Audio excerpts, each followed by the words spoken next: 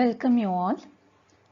In today's session, let us see why isolation is required for the gate and base circuits of BJT.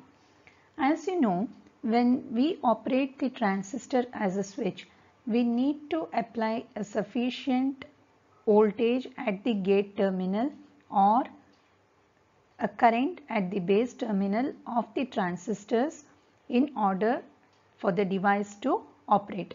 So when it is operated as a switch, we know that it has to operate either in cutoff or in saturation. So our main aim is to make the transistor operate in saturation with a low on state voltage. So for that a sufficient gate voltage is required as well as the base current is required. So if you look at this, we have a input voltage which is DC um, between the which is applied across the supply terminals. This is the ground terminal and this is an inverter setup. Okay, this is an inverter circuit using MOSFET. So you can observe that each MOSFET has its own gate terminal and source terminal. So how are we going to make this device operate? Our input DC okay, has to get converted to AC across the load. For that we need to operate all these MOSFETs M1, M2, M3 and M4.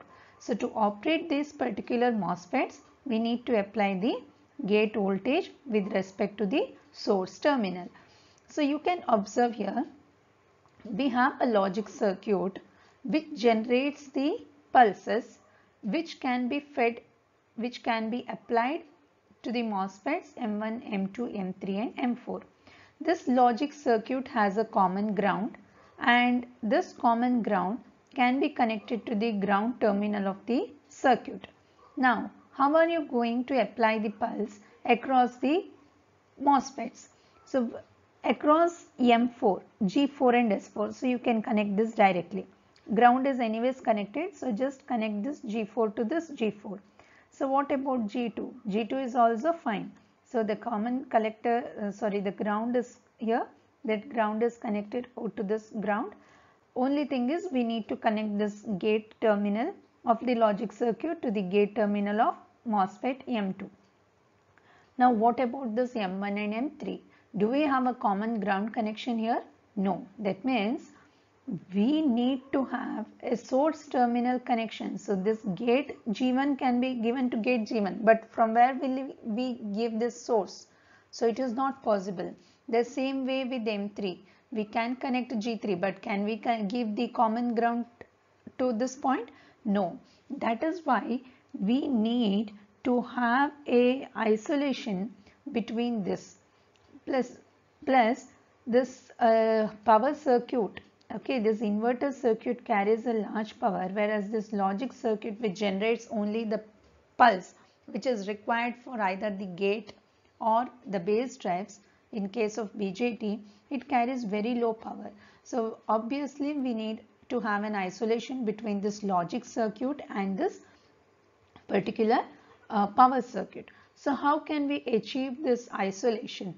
So see here uh, this is what uh, the gate pulse which is generated from the logic circuit which is being applied to the circuit which was earlier shown. So one way of achieving an isolation is by using a pulse transformer. What is meant by pulse transformer?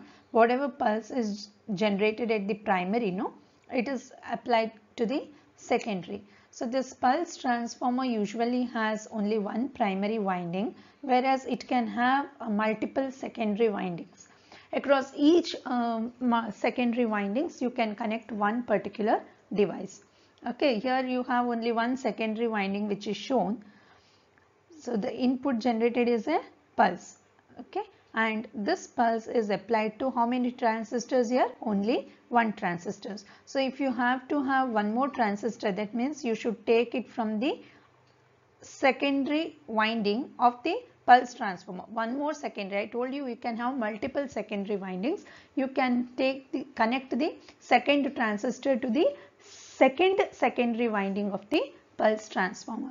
This is one way of achieving an isolation between the logic circuit and the power circuit. One more way of achieving isolation is by using optocouplers. This is the one which is uh, usually used in most of the applications. So what it has is, it has this infrared, infrared light emitting diode. Okay. And it has a silicon phototransistor. So the input signal whatever is applied, no, it is applied to the infrared light emitting diode and the output is taken from the phototransistor.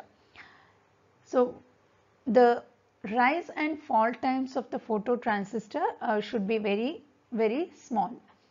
Uh, the typical values of the turn on time for your phototransistor should be around 2 to 5 microseconds whereas the turn off time should be around 300 nanoseconds. So these turn on and turn off times will obviously it will limit the high frequency applications. So you can see that the phototransistor circuit is this which uh, is usually a Darlington pair. Okay. So the phototransistors you can see here it requires a separate supply. So Darlington pair uh, which you might you might have studied in analog electronics you might have seen a separate supply for it the same way this Darlington pair that is a phototransistor it requires a separate supply. So in this way by using pulse transformers and the optocouplers you can achieve the isolation between the high power power converter circuit and the low power logic circuit. Thank you.